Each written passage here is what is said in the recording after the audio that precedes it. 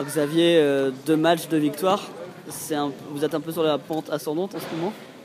Ouais, mais je pense qu'on est depuis un petit moment, hein, même si Ex-Morens avait marqué un, coup d'arrêt. Euh, sur les matchs précédents, on a fait des bonnes choses contre Cortez. Et puis là, c'est vrai que voilà, on, va concrétiser euh, ça par des victoires. On a bien, là, ce soir, on a bien su gérer les, les fins de match, ce qui était notre problème quand même sur, sur les courtes défaites qu'on a eues. Donc, euh, ouais, il est vraiment en puissance. et C'est de bonne augure pour la suite si on continue à travailler. Et dans le troisième, il me semble, euh, Bourg était revenu dans, dans le coup.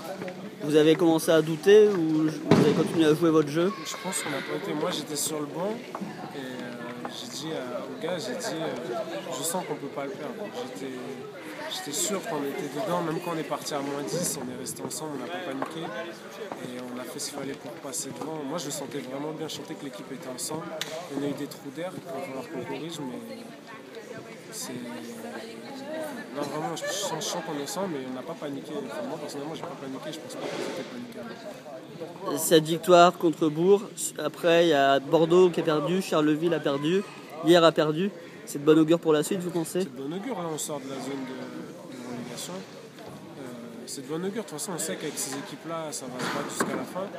Et je pense vraiment que si on continue à progresser, on a des jeunes joueurs, si on continue à tous progresser ensemble, que ce soit individuellement, collectivement, il n'y a pas de raison qu'on ne termine pas au-dessus, qu'on ne laisse pas deux équipes derrière nous, il faut qu'on- y croit.